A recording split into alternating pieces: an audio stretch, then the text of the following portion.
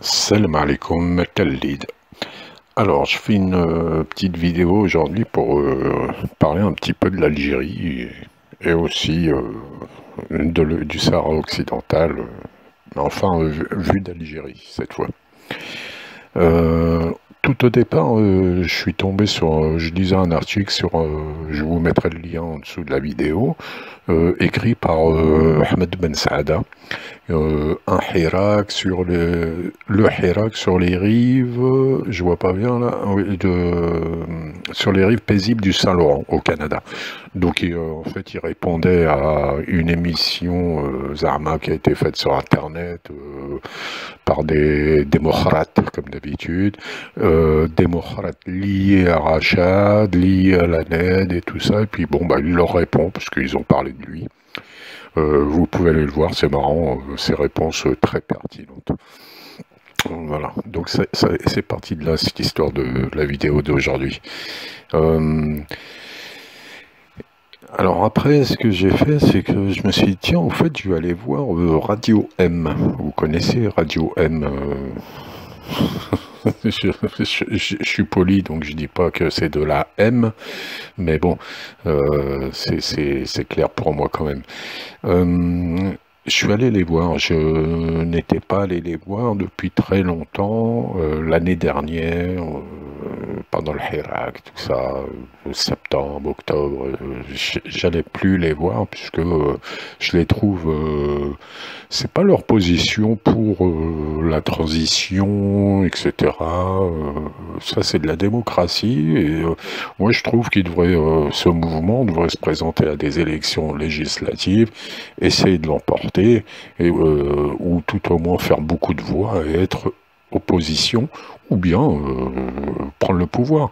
Et euh, au lieu de toujours clamer, comme vous allez le voir, on veut la transition, on veut la transition, peut-être qu'il devrait jouer le jeu, puisqu'il y a une nouvelle, une nouvelle constitution une nouvelle euh, façon de voter euh, où ça triche pas apparemment hein, euh, voilà. Mais on pourra le vérifier. Euh, puisque on est dans ces conditions là qu'une cohabitation euh, entre un nouveau gouvernement et puis un président euh, qui a d'autres idées est possible de par la Constitution. Il devrait jouer le jeu et voir s'il y a une grosse triche, euh, si c'est eux qui ont gagné, qu'il y a une grosse triche. Là, oui, ils auront raison sur toute la ligne. S'il n'y a pas une grosse triche et qui gagne, euh, et qui gagnent, euh, bah, ils passeront au pouvoir, ou bien ils auront tout au moins euh, droit au chapitre au niveau du, du Parlement. Voilà, bon, ça c'est clair. Moi, donc, je les regardais plus depuis longtemps à cause de ça. C'est parce que, à cause de leur incompétence, parce que là, je vais pas vous faire la liste des fois où ils se sont trompés dans leurs analyses. Pour des soi-disant journalistes, analystes, etc. Franchement, la liste, elle est longue et je n'ai pas besoin de la faire là. Ils, avaient même, même dit quelques jours avant les élections que Tebboune ne serait jamais président parce que d'après leurs analyses, bref, laissons tomber. Alors, moi, pour moi, euh, ces gens-là, ils ont la cervelle totalement formatée par la propagande universelle. Voilà. C'est des gens qui commentent des choses sans les lire, comme dit, euh, comme dit Ben Saada, et qui expliquent des choses sans les comprendre. Voilà.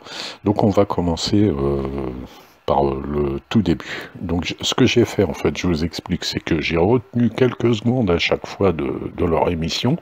Donc c'est vrai que j'ai coupé les phrases, euh, c'est euh, volontaire.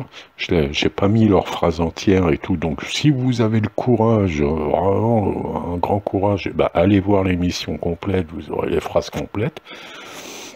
Euh, moi, je les ai coupés exprès, mais c'est parce que je, veux mettre l'accent sur certains points, et des fois, ils disent des choses en rigolant, hein, avec une petite plaisanterie, mais ça, hein, c'est ça, ça, ou par des petits lapsus, etc. Mais ça explique vraiment euh, le fond de leurs idées. C'est ce que j'ai essayé de faire. Allez, on y va. Oui. Je le souhaite. Moi, Qu'il le- revienne, qu'il revienne, qu'il revienne à sa famille. Bon, là, je Non, dit qu'il plusieurs revienne. fois. Qu'il Je l'ai dit revienne. plusieurs fois à cette antenne. Évidemment, on le souhaite à tout le monde, à tous ceux, non, à tous ceux qui sont malades, euh, de, de guérir et de revenir à la famille. Qu'il pilote l'Algérie Est-ce qu'il Non, faut non, le souhaiter attends, attends, c'est pas ce que je dis. On ne peut pas se masquer quand on a 85% qui ont dit non, qui ne se sont pas déplacés, avec tous les moyens qui ont été mis euh, à la disposition du régime pour faire passer sa feuille de route, dont ça c'était le point essentiel, eh bien on est, on est, on est dans un vide. Et le vide il est là, même si, même si le président était là, qu'aurait-il fait? Bon, tout premier point, donc vous avez vu que euh, il souhaite pas le retour de Tebboune euh, au pouvoir, euh, enfin à sa place. Bon, ça c'était euh, une chose. Et euh, la deuxième chose, c'est euh, le, gars là, 85% d'abstention. Donc il, ajoute les 77% avec ceux qui ont voté non. Mais bon, c'est une bonne guerre, c'est pas grave, c'est une petite exagération. Mais enfin, je rappelle quand même que ceux qui ont voté non adhèrent au processus euh, qu'il y a au niveau euh, électoral, même s'ils étaient contre cette constitution, ils ont voté. Donc ça c'est plutôt 77% qui ne sont pas euh, qui ne sont qui se sont abstenus et on sait que les Algériens n'ont jamais voté. Donc ils essayent de jouer sur ce truc-là. C'est un truc hyper important, bien sûr, euh, ça c'est clair, euh, qu'il va falloir euh, que ça change. mais voilà, je voulais faire cette petite correction pour le premier point. On continue. Je ne connais pas exactement la solution, mais il, faut, il faudrait effectivement euh, euh, une, une autorité, un gouvernement technique qui mettrait en place les solutions d'apaisement. mettre en place un, dialogue national et fomenter les, les contextes, un contexte favorable. à- Alors là, je voulais faire juste une, une petite, euh, euh, un petit point sur le, le verbe fomenter qu'elle vient d'utiliser. Fomenter, donc la définition, c'est susciter ou entretenir un sentiment ou une action euh, néfaste, fomenter des troubles. Euh, fomenter, ça a une consonance euh, négative. C'est comploter, c'est voilà, c'est dans ces dans, dans cet ordre-là d'idées. Donc soit euh, elle l'a utilisé exactement euh, avec sa définition, euh, soit elle connaît pas exactement la définition de ce mot, ou bien tout simplement c'est un lapsus. Bon, c'était une mini observation, mais bien sûr que ces gens-là fomentent. Euh, un contexte comme celui-là, il, va, euh, se- selon vous, déclencher l'article 102 ou il va déclencher euh, une opportunité nouvelle pour un dialogue national? Alors là, c'est important, vous voyez, parce que c'est des petits, des petits lapsus, des petites approximations, en fait, qui veulent dire beaucoup de choses derrière. C'est pour ça que je m'attache aux détails. Déjà, dans la Constitution de 2020, qui vient d'être votée, l'article 102 ne correspond pas à, l'ancien article 102 de destitution d'un président en cas de maladie. Vous voyez, hein, c'est euh, l'article 102, maintenant, ça correspond le président de la République euh, signe des accords, etc. Ça n'a rien à voir.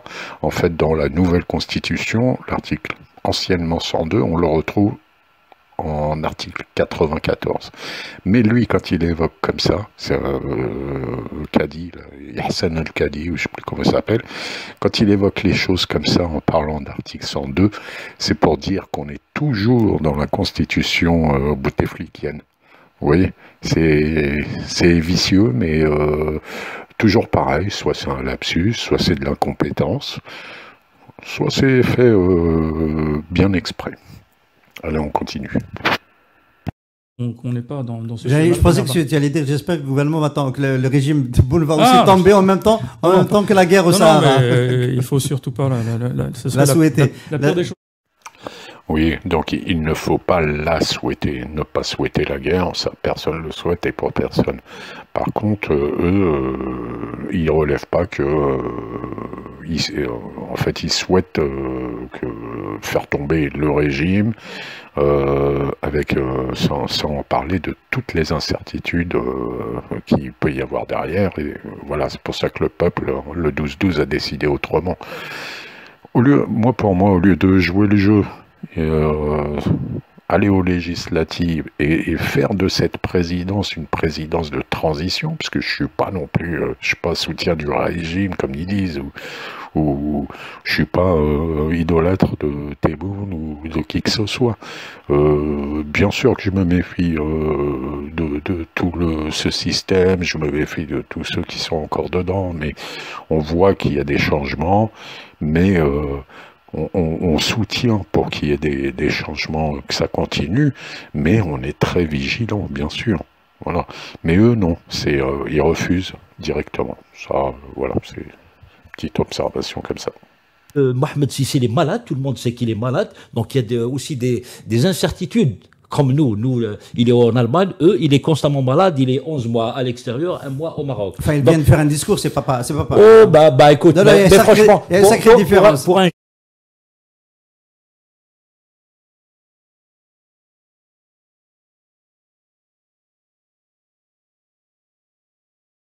Le, le Polisario n'existe pas sans nous. Il faut bien se. Non, non, sans, sans, sans, nous, sans, nous, sans, sans, les officiels, sans, le régime algérien. Voilà, sans le mettre dedans. Sans le régime algérien. Sans le régime algérien. Parce que. Voilà, donc là, par exemple, c'est un petit détail, mais qui en dit long. Donc, le, vous avez entendu, euh, le, le, donc le Polisario, bien sûr, qu'il qui aurait beaucoup de mal à exister sans l'Algérie, sans le soutien de l'Algérie, mais il existerait quand même, j'en suis certain. Bref, ça c'est à part. Mais, euh, comment dire? Oui, donc ils disent, ah non, non, euh, nous on le soutient pas, c'est le régime qui soutient. Et l'autre qui relève, oui, justement, c'est le fond du problème. Voilà, le fond du problème. C'est là qu'on commence à, venir au, euh, à l'alignement, l'alignement sur les, thèses marocaines qui veut absolument euh, faire du soutien de l'Algérie le problème numéro un. Voilà. Et eux sont, de toute façon, vous allez voir jusqu'à la fin, c'est super intéressant, je trouve. Euh, mais alors bon, il y avait une solution, c'est l'UMA, et bien entendu, ça renvoie à la question, à la question plus fondamentale. L'enjeu, c'est le Maghreb, parce qu'on voit bien que cette affaire a interdit l'intégration maghrébine, et nous sommes aujourd'hui dans une reconfiguration complète sur un plan géopolitique, y compris du monde arabe, qui fait qu'aujourd'hui, le Maghreb, c'est notre horizon stratégique, et cette affaire, il faut la régler à l'intérieur du Maghreb, tout comme elle avait été initiée au sein de, au sein de l'UMA. Il faut, il faut reprendre. Merci, merci de me tendre. Voilà, là, donc on, continue à avancer dans, leur pensée, comment elles se précisent petit à petit par des petits détails comme ça. Donc, union du Maghreb. Bien sûr, moi je suis même pour l'union du monde entier. franchement, que euh, euh, on puisse aller les uns chez les autres tranquillement, que nos gouvernements s'entendent, etc., etc., euh, et qu'il y ait des accords économiques et tout ça, que c'est clair c'est clair, la Terre, on doit la partager, c'est ça c'est clair et net. Mais, en dehors de ces petites considérations de bisounours, euh, parlons-en de l'Union du Maghreb. Donc il y a l'Union européenne, par exemple, prenons l'Union européenne, pourquoi ils réussissent La base de tout, ça n'est pas une histoire d'économie. Euh, prenons la CDAO, mais on va commencer par l'Union européenne. L'Union européenne, pourquoi elle tient C'est parce que ils sont tous à la base, c'est géopolitiquement, ils sont tous sur la même ligne. Ils sont tous pour euh, l'OTAN, tous pour euh, la même, ils ont tous la même ligne euh, géopolitique. Ça, c'est la base de tout. Comment tu veux faire sinon? Tu prends la CDAO africaine, qui est une union économique ils sont tous pro-France. Euh, et même s'il y en a un qui essaie de relever la tête, euh, on, lui remet la tête sous l'eau, on lui fait un petit coup d'État ou quoi, mais ils restent tous dans, dans l'alliance géopolitique avant l'alliance économique. Tu ne peux pas faire. Donc, faire une alliance d'union du, faire l'union du Maghreb dans l'État, ça n'est pas possible. Et ça n'a jamais été possible. C'est pas à cause. Eux, ils disent que c'est le Sahara occidental le problème, puisque comme il y a le, Sahara, problème du Sahara occidental entre l'Algérie et le Maroc, on ne peut pas faire d'union euh, du Maghreb. Donc, il faut régler le problème du Sahara occidental pour faire l'union du Maghreb. Et c'est l'union du Maghreb qui réglera le, problème du Sahara occidental. Mais non, le, le problème numéro un, c'est que comment tu veux être uni à long terme avec un pays qui, est, qui ne partage rien avec toi sur les questions internationales. Euh, en cas de guerre, comment on fait? Euh, L'autre, il est avec Israël, il est avec euh, les États-Unis, il est avec l'OTAN, et toi, tu, tu es contre. C'est impossible. on ne peut pas faire d'union du Maghreb tant qu'il n'y a pas d'union géopolitique. Il faudrait euh, que ou bien l'Algérie change ou que le Maroc change de camp. Ça n'est c'est impossible. Donc leur solution, elle est complètement, euh, complètement euh, bidon, à moins que, bien sûr, veuillent changer de camp géopolitique. Ça, oui, dans ce cas-là, ils sont tout à fait cohérents. Donc on en vient, donc quand ils évoquent l'union du Maghreb, ils évoquent aussi euh, l'histoire de l'ouverture des frontières, etc. Petit à petit, petit à petit. Toujours dans le sens, euh, dans le sens, euh, vous imaginez si ces gens-là ils sont au pouvoir, mais bon, si démocratiquement ils y arrivent, bah, tant pis pour les, ceux qui seront, qui n'auront pas voté pour eux, hein, tout simplement. Mais je vais vous redonner aussi un petit exemple pour continuer. L'UNASUR, alors c'était une, euh, c'était l'union des, des États euh, d'Amérique du Sud qui s'étaient unis en 2008 hein, euh, sous l'impulsion du Venezuela, Chavez et tout. tous les pays hein, s'étaient unis pour donc avancer ensemble contre faire contrepoids aux États-Unis. Hein, et c'était pas le Mercosur qui est juste économique, là ça n'a rien à voir, là c'est l'UNASUR qui était une alliance économique de développement et aussi politique. Puisqu'à l'époque, il y avait beaucoup de gouvernements qui étaient euh, dans le même camp, c'est-à-dire plutôt à gauche, euh, plutôt anti-impérialiste et tout ça. Hein. Mais depuis, euh, les choses ont beaucoup évolué. Euh, euh, la droite sud-américaine, pro-américaine et pro-États-Unis est revenue au pouvoir dans plein de pays, que ce soit au Chili, que ce soit au Pérou, que ce soit au Brésil, que ce soit, bon, enfin, Équateur, etc., etc. Elle est revenue au pouvoir et ils sont réunis et puis ils ont fait éclater ils ont fait éclater cette fameuse union euh, du Maghreb euh, qui voudrait quoi l'UNASUR euh, pour pour les les, les, Américains du Sud. Donc ça prouve bien qu'il c'est vraiment totalement impossible d'avoir une union du Maghreb tant que les, les, les, deux les pouvoirs en place qui sont qui sont dans les différents pays, hein, c'est-à-dire Maroc, Algérie, Tunisie, euh, Libye, euh, Sahara occidental, Inch'Allah, et Mauritanie, donc hein, c'est ça, ne sont pas un minimum sur la même longueur d'onde sur les questions internationales. Et donc c'est impossible, ça bloque tout. On n'aurait pas eu le problème libyen si on avait eu l'affaire de si on avait eu l'humain aujourd'hui opérationnel. Vous voyez les conséquences catastrophiques du non-Maghreb. Non, c'est est un dictateur qui dans tous les cas, non, il, le peuple libyen voulait s'en débarrasser.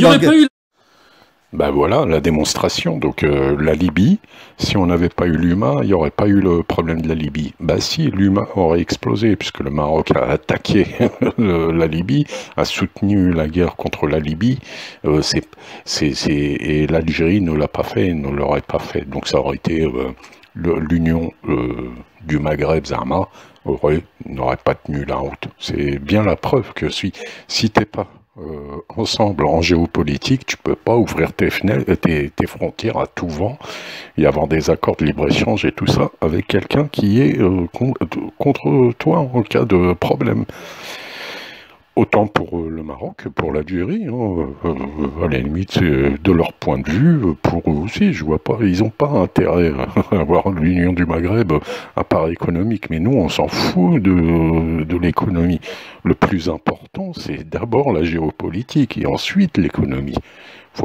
Et euh, donc vous avez bien noté que Yersan toujours avec ses petits, euh, c'est ce que je vous disais au début euh, en riant un petit peu, bah, il fallait se débarrasser de Kadhafi. Mais tu te rends compte de la portée de cette phrase?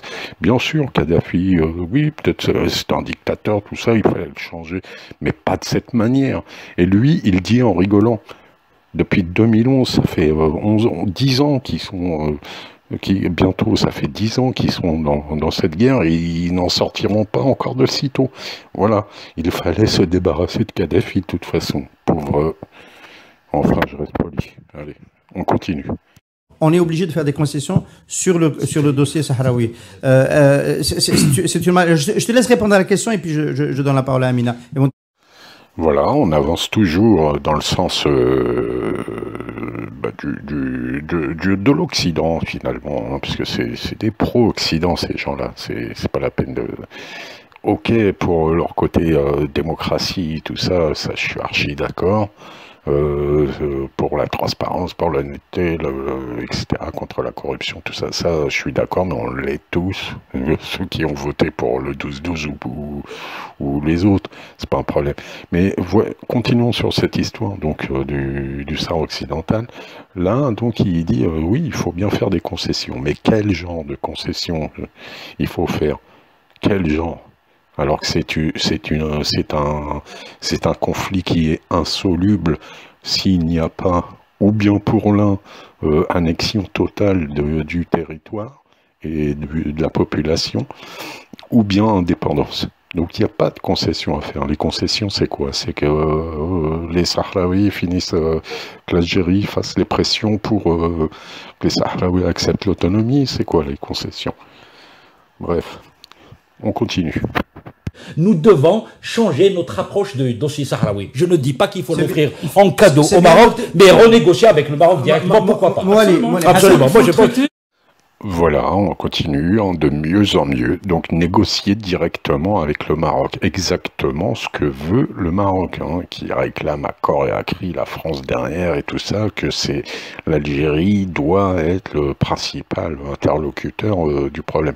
Principal interlocuteur, donc sur le dos de tout un peuple, le, du peuple sahraoui, sur le dos du Polisario, que ce soit l'Algérie qui décide pour eux c'est grave, quoi, ce qu'ils disent euh, comme ça, hein, facilement. Euh, c'est incroyable, quoi. C'est incroyable, ces gens-là. Voilà, t'as envie de t'énerver, mais enfin, euh, voilà, on va continuer l'analyse. Donc négocier directement, c'est exactement la position du Maroc depuis tout à l'heure. Hein. Ouverture des frontières, euh, euh, implication de l'Algérie, euh, union du Maghreb arabe bloqué par l'Algérie, par le problème du Sahara, etc. En fait, c'est toutes les thèses du Merzen. On continue on ne s'est pas mis à regarder un peu différemment cette question du Sahara occidental, qui euh, euh, voilà, fonctionne un peu comme un empêcheur de s'unifier au niveau du Maghreb.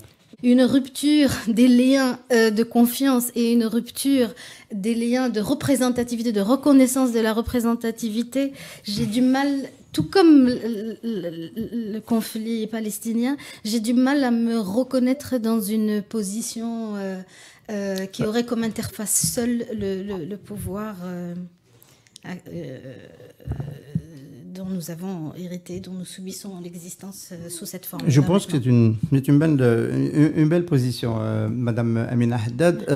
Voilà, donc hein, euh, ça va toujours de plus en plus loin. Euh.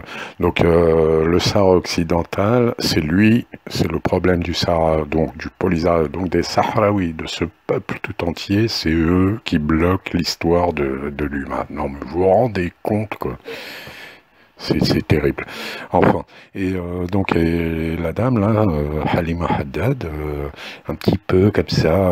alors dans toute sa phrase, elle dit moi je suis pour l'indépendance des peuples et tout ça. Vous pouvez aller voir leur émission et franchement bon courage quoi. Hein. mes extraits suffisent largement. Le plus important c'est les extraits à mon avis. Eux, elle, dit non mais moi par contre euh, je peux pas euh, même si le pouvoir euh, ben, en fait il est pour l'indépendance pour la défense des, droits des Sahraouis tout ça j'ai du mal à, le suivre quand même mais qu'est-ce que ça veut dire vraiment? Enfin bon allez on continue c'est la dernière la conclusion. Ah oui, la conclusion, c'est donc un expert géopolitologue, etc., tunisien. Euh, qui était là tout le long de, l'émission, mais bon, je l'ai mis juste à la fin. Euh, on va l'écouter rapidement. Euh, je souscris totalement à l'idée que il ne faut plus voir le conflit, il faut changer de, paradigme. Il ne faut plus voir le conflit au Sahara occidental comme étant une épine entre les pieds du Maroc et de l'Algérie, mais plutôt comme étant le début, la clé de voûte par lequel on peut arriver à un Maghreb, un Maghreb uni, un Maghreb où tout un chacun aurait sa place, où la solution sur le Sahara occidental serait une solution acceptée par les deux parties. Voilà. Voilà, donc euh, solution acceptée par, les deux parties. On reconnaît là euh, la, mentalité tunisienne dans toute sa splendeur. Euh, comme, euh, déjà, la Tunisie, ce que je vous rappelle, c'est qu'ils sont neutres hein, dans cette affaire. Hein. Euh, ils appellent ça une neutralité positive, mais enfin, euh, jusqu'à maintenant, ils ont toujours été neutres. quand tu es neutre dans une affaire pareille, pour moi, il n'y a pas de neutralité positive, tu es plutôt pour, pour l'occupant. Tu peux pas être neutre. quand il y a des, un problème, un conflit, tu choisis ton camp. Ça, c'est ma mentalité. Donc, le CIS à Tunisia Narfoha, ça, c'est tout à fait la mentalité euh, de, la communauté internationale, de son hypocrisie et des concessions qu'elle fait euh, à l'occupation. Hein. Donc, solution acceptée par les deux parties.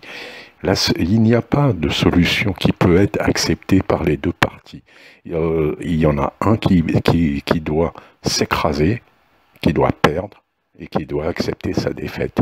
C'est comme ça que ça a été avec l'Algérie. Vous croyez que euh, les accords d'Evian, il y a le mot accord, mais c'était parce que la France, elle a été obligée d'accepter sa défaite. Et ensuite, ils ont négocié euh, les modalités mais il ne peut pas y avoir de solution acceptée par les deux parties, ni dans l'ONU avec leur phrase, là, une solution acceptable euh, et durable pour les deux parties. Cette phrase, elle devrait être enlevée. Et cette phrase est là pour tout bloquer pour tout bloquer justement, elle devrait être enlevée. Et ce qu'il dit ce monsieur là, euh, c'est vraiment, euh, vraiment aller dans le sens de l'Occident et de l'occupant, tout simplement malgré qu'il fasse une analyse euh, assez objective, euh, tout ça, mais euh, finalement, tous, tous, toute cette émission-là, voilà où ils veulent en venir, c'est que il faut tout concéder au Maroc, tout simplement. Et, euh, comment vous dire, comment vous dire, ce genre de personnes, euh, c'est entre guillemets une, de l'élite, quoi, hein, euh, de l'élite, ouais, parce que c'est des intellectuels, Zarma et tout ça. Ce genre de personnes vont travailler à fond à l'intérieur de l'Algérie et tout ça pour euh, faire passer ce point de vue dans la population, dans une population qui, pour beaucoup, s'en fout un peu du Sahara occidental. Hein, ça les touche pas tant que ça. Donc, euh, d'abord, déjà, ils s'en foutent de tout, euh, à part à part eux-mêmes, les gens, euh, pour changer les choses, accepter. Vous, vous avez bien vu, ils votent pas. Blablabli. Bon, allez, on, on a fait, on, on connaît l'histoire. Ces gens-là, voilà, c'est pour ça que c'est très important, à mon avis, que l'autre saut de cloche, euh, comme le mien, hein, et comme euh, tous ceux qui partagent le mien, s'expriment et parlent plus fort qu'eux. Voilà. Mais ils ont le droit de parler. Hein. Bon, bah voilà, c'était mon analyse un petit peu. Euh, et ça a été très difficile de, de, de regarder euh, leur émission pendant une heure. Franchement, euh, franchement, je devrais avoir une médaille. Ayam Aslama. Conclusion. Bien sûr que si on, ce sera un rêve, ça d'être unis, euh, Maroc, euh, Algérie, Tunisie, etc., euh, d'être unis, de faire un bloc politique, géopolitique donc, et économique. Franchement, on serait intouchable avec les qualités qu'ils ont quand même les Marocains dans le boulot, dans tout ça, dans, dans plusieurs choses, ils ont des qualités, puisque j'ai eu à bosser avec. Euh, les Tunisiens aussi, ils ont des compétences, euh, ça c'est clair. La force de l'Algérie, le caractère des Algériens, euh, euh, la force économique, le pétrole, le gaz, etc., etc. Euh, franchement, on serait intouchable, ni militairement, ni politiquement, ni économiquement. Mais ça, c'est un rêve. Inch'Allah, Rabbi, euh, qu'il fasse que qu'on accorde nos violons un jour avec euh, des pouvoirs qui vont ensemble quoi Et moi, euh, je suis plus pour, euh, en tout cas, la base euh, géopolitique algérienne. Ça, ça doit primer surtout.